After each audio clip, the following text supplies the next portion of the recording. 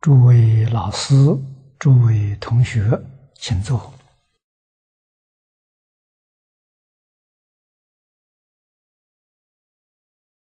今天是台南培训班的开学，同学让我讲几句话。我听到这个讯息，非常欢喜，因为在现前这个时代，不仅是国内，在全世界，佛法了缺乏师资。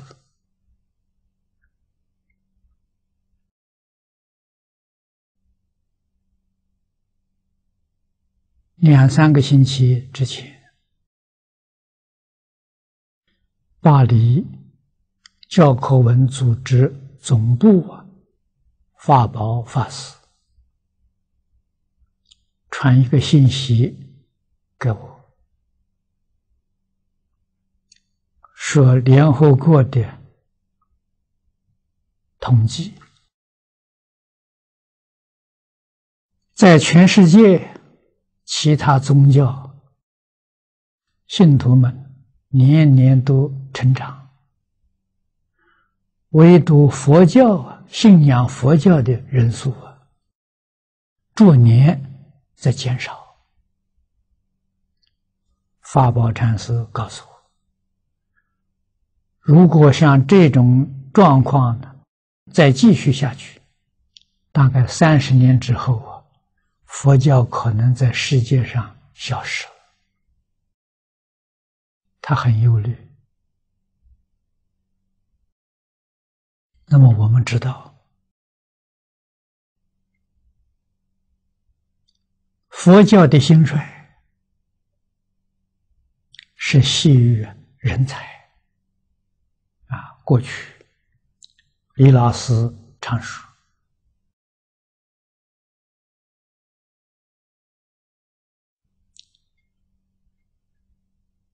有庙无道啊，不能兴教啊！这句话了，我们听他老人家常讲啊，勉励我们啊，要担负起弘护正法的使命。我当时在台湾，因为是独生，没有家里啊，所以我觉得呢，我还可以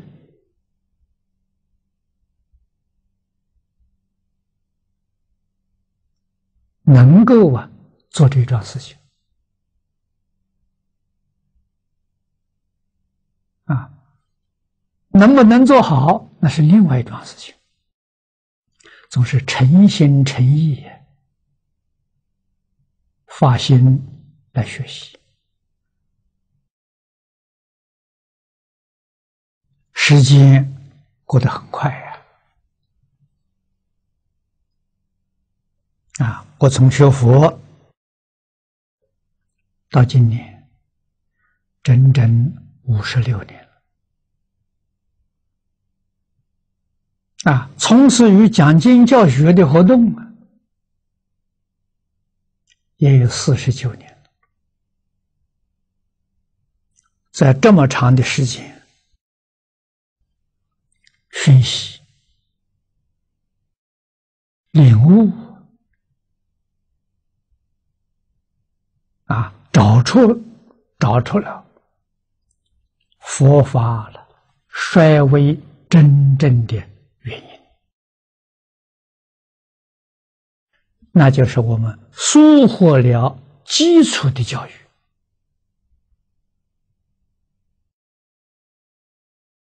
我在台中那些年，李老师对于扎根的教育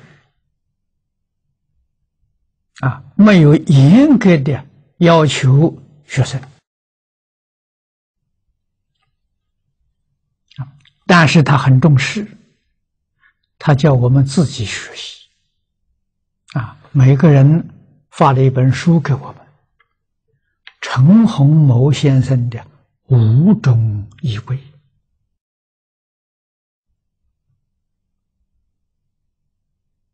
啊，这些年来，我们提倡《弟子规》。《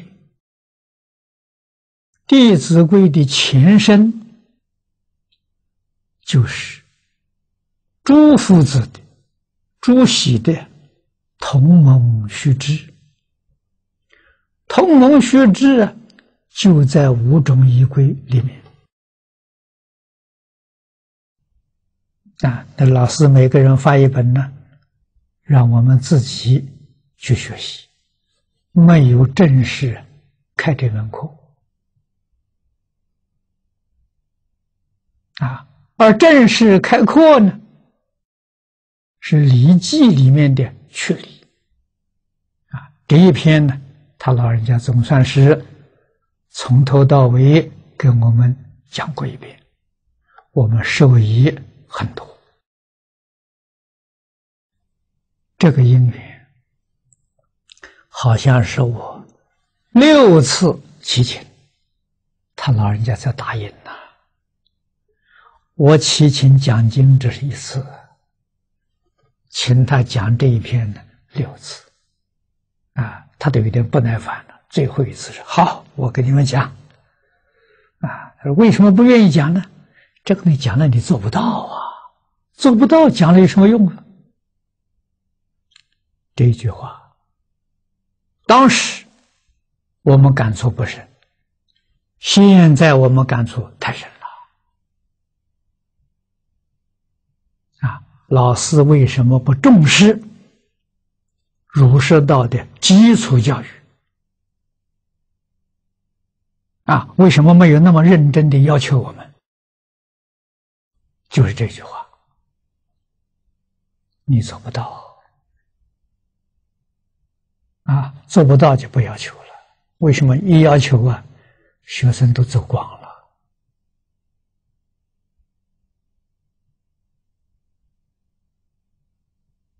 几十年之后啊，我们才体会到，不是他不肯教啊，而是我们现在年轻人不肯接受啊。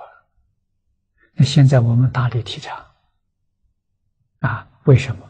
我们现在再不接受，再不从这里下手，佛教真的会灭掉了。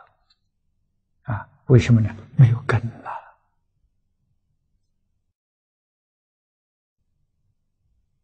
啊，所以要知道，中国传统文化的三个根，儒释道的三个根。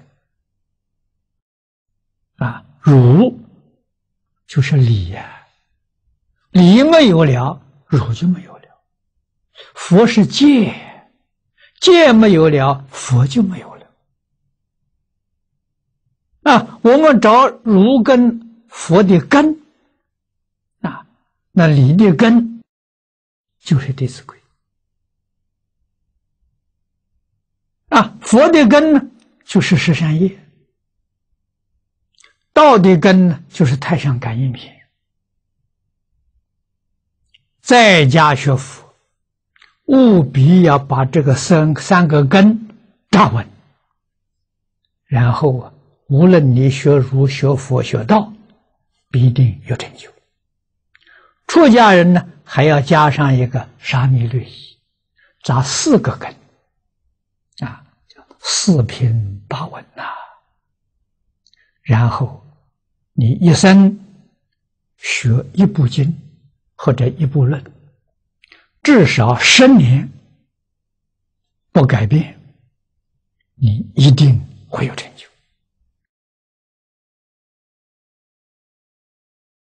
我这个学习的理念，在台中跟李老师的时候，我就知道了。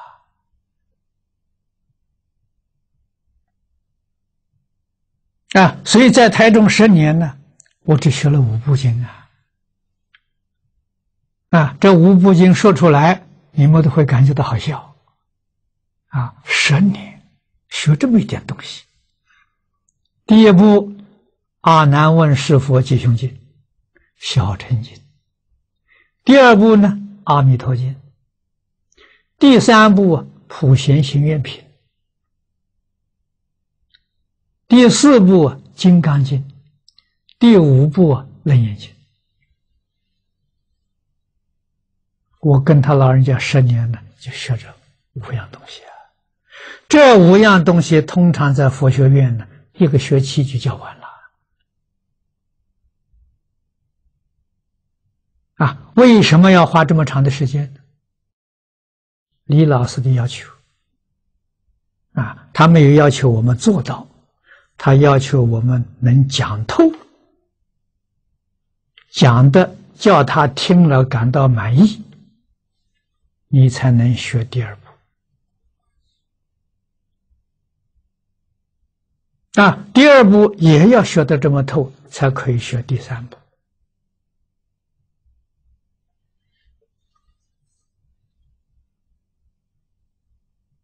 我是学了三步啊，就出家了。出家之后感觉到不行，学的东西太少了。啊。我学的时候就是前面这三种，学到普贤行愿品，啊，所以以后再回到台中，啊，继续跟他老人家学，学《金刚经》，学《楞严经》，啊，这两部经呢，我在台中都复讲过，啊，老师讲一遍，我也讲一遍。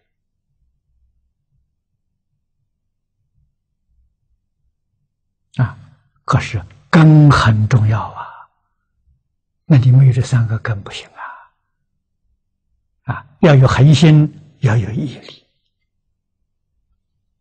啊。那么学道，必须要学谦卑，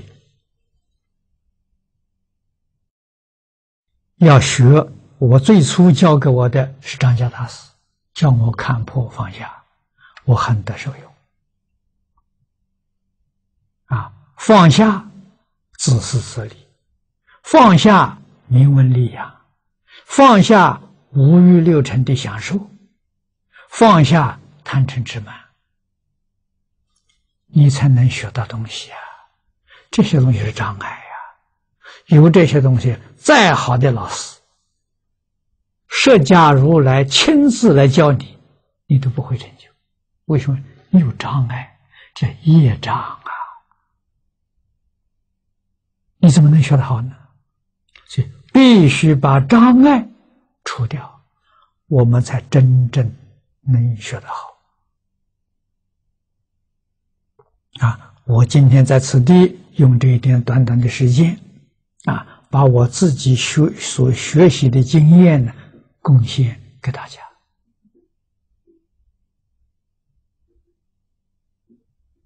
啊！只要把障碍除掉了。四个根扎下去了，你们是佛学院，必须要扎扎四个根，啊，百分之百的做到，啊，要客气求证，那就是限定在一年要把它做到，你这四个根扎稳，然后九年的时间专攻一部经。啊，这一部经怎么个学法呢？啊，你比如说，你学《金刚经》，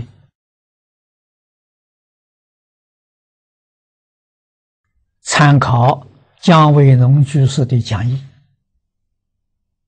啊，就这一种就够了。以《金刚经》讲义为主，啊，我有《金刚经》研习报告，可以给你做参考。啊，姜维农居士在《金刚经》上用了四十年的功夫，啊，学金刚般若了，那你除他讲义之外啊，那其他的都都不能跟他相比，他用一生的功力，他成就了，啊，真的是金刚菩萨了。啊，学心经，学周芷安的《心经全注》，周芷安居士也是在心经上下四十年功夫，成为专家了。啊，或者学《无量寿经》。无量寿经呢，你就学莲池大师的俗抄，藕叶大师的要解，专攻啊，啊，要用十年的时间专攻，攻的时候要讲，啊，每一天至少讲半个小时，啊，最好能讲一个小时，啊，一遍讲完之后再讲第二遍。啊那么九年当中，可能你讲上了三十遍、五十遍，啊，分量大的，啊，像这个《楞严经》呢，啊，大概可以能够讲个十遍，你就熟透了。长期熏修啊，你心是得定，心是定。一门嘛，没有两门嘛。定能开慧啊，智慧开了之后啊，就通了啊。所以一定要一门深入，长时熏修，你才能成就啊。如果像一般学校啊，上一个钟点上这一堂课，下个钟点又换了，这个很难成就啊。所以必须是一门深入，啊，老师带同学一个老师带一班，老师也是一门深入，啊，带你这个班，啊，这一班分成几个几个几个组啊，啊，分成小组啊，一个小组学一样东西，啊，十年就一门功课。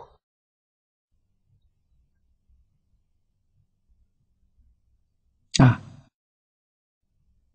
有这个机缘呢，也可以听别的同学的这些学习的报告，啊，可以听，啊，但是自己呀，决定全部功力用在自己所选修的这一门上，啊，多了你就分心，你力量就分散了，你就不能集中，不能得定。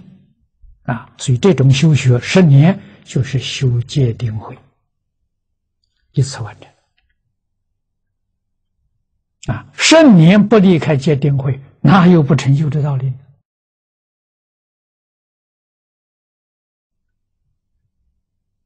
啊，那么我最近也有一篇短文，啊，提出一个书院的，啊，建立书院的，培养师资。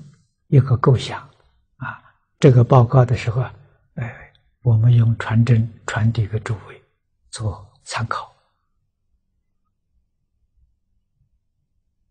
啊，那么现在时间到了，啊，我说话也就到此地，祝福诸位道业成就，啊，学业圆满。希望诸位啊，真正能发大菩提心啊，在这个末法时期，